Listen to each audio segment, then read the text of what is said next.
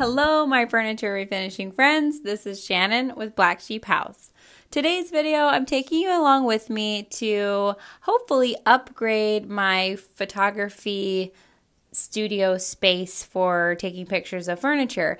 I don't know about you, but I feel like my furniture painting skills are really good and my photography skills and my background and stuff for pictures it just could it could be better and so i'm really looking to upgrade that area because you know we live in a digital world where you post your furniture for sale on Facebook Marketplace, and a good photograph really makes it circulate through the algorithm, and so many more people see your piece. So, I think good photography is definitely a skill that you want to learn just as much as painting furniture.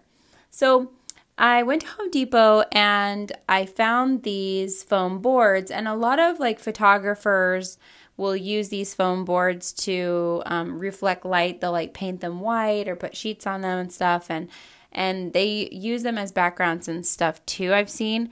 So I thought I would sort of copy that idea, and I have some wallpaper. So I thought if I bought these for like 20 bucks each, so $40 total for my space. And this is this is big. These are pretty tall. Like you could take a picture of a china cabinet in front of these foam boards. And you could also just buy one, like you can see that and you can put long dressers or nightstands and things like that in front of it if you've got a smaller space and you don't want to mess with the the two boards. That would be a lot easier actually.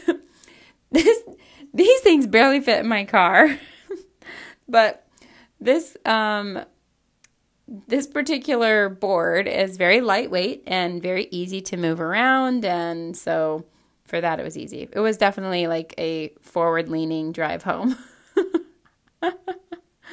okay, so you guys are going to watch me fail a little bit here. I'm trying to figure out you know, I have my wallpaper, I have these foam boards. I'm quite non committal in the whole thing. I don't really, I'm like not sure I want to like actually apply the wallpaper to the foam boards. And so I don't recommend you do any of this, what I'm doing in the picture or in the video.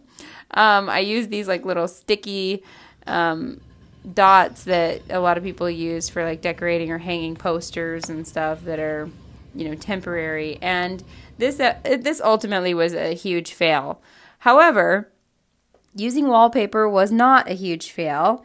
And you can take the wallpaper and again so you can see it's a fail. You you know you can see the strips of it. It's not laying flat. So i decided very quickly that i needed to tape the board together and I did not use like duct tape. I recommend you use duct tape or some kind of really strong tape, not like the tape that I'm using, okay? It's this wasn't this was a bad idea. So, my wallpaper and yours if you have wallpaper as well will probably like have a design on it that you're trying to line up and so that proved to be a little tricky as well because I can't really see it as I'm taping the back. But I just kind of made like a big sheet out of it, you know, by taping the pieces together. Now, I did look on Amazon to see if they had anything kind of along the lines of what I was going for in a photography like backdrop. And there actually are some pretty good ones on Amazon um, that I think would be totally fine. I was just really looking for something really specific. Um, I want to sort of create this like brand and this this look and ultimately I I still need to get there, you know, but this is definitely a step in the right direction. Um, and you know, it, this wallpaper is supposed to look like old cement or um, plaster, you know, and it was like peeling away and stuff. That was the design of it. And I actually, you know, I think I paid about $125 for the wallpaper. And it was just one roll that I'm doing this with.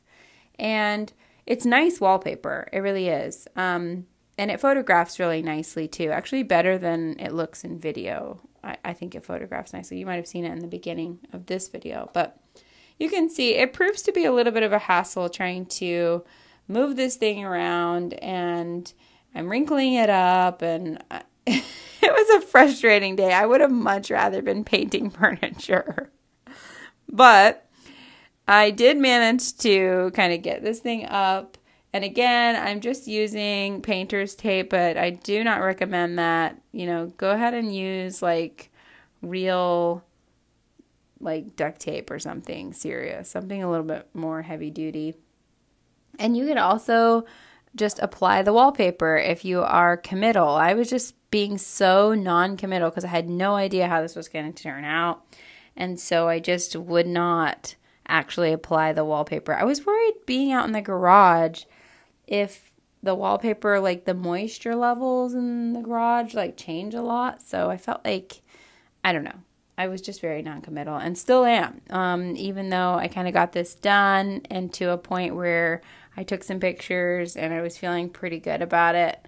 I'm still really on the fence as far as like what to do next. So so yeah, I I think given that I'm barely hung this thing up and it's so non-committal, um that this looks pretty good. I think if I when if and when I go back and actually like apply the wallpaper, I think I'm going to like actually stick it to the foam board. I think it'll look a lot better. Um, but for photos, this actually photographed pretty well. I don't know. You guys let me know. Did it did it look good? Am I a crazy person? does it does it photograph well? Speaking of photographs, I like to use threes. You see, I have three little topiaries there. That's a common way for me to stage furniture. I will use a lot of times just like some florals. Those are dried and faux florals that I have there. And I could actually um, do a video on arranging those little faux florals as well. If you guys are interested, let me know in the comments.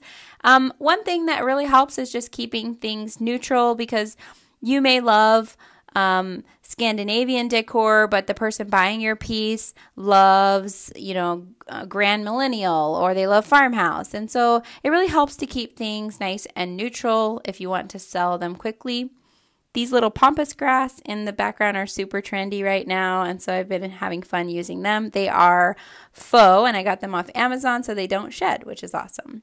But yeah, I think this project turned out pretty good given that I did it in kind of a temporary way. Thanks so much for following along and learning with me. I'll see you guys in the next video. Bye!